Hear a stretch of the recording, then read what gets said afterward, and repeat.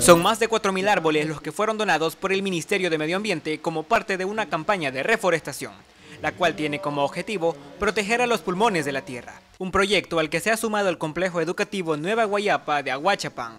Gracias a Dios, los señores de, del medio ambiente nos tomaron en cuenta nosotros como institución para que les apoyáramos, para ser los recepcionistas de los árboles.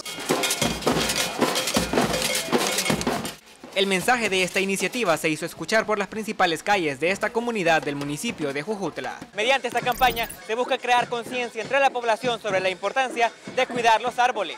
Vienen eh, generaciones tras nosotros, entonces es importante porque para el futuro. Para este padre de familia también es importante inculcar en su pequeño el amor por la madre tierra.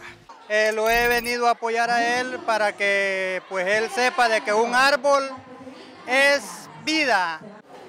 Los árboles frutales y forestales serán sembrados en diferentes puntos del municipio, con el fin de mejorar las condiciones del medio ambiente de esta zona. Este es un informe especial de Canal 16 en Aguachapán. Byron Martínez, Cadena Megavisión.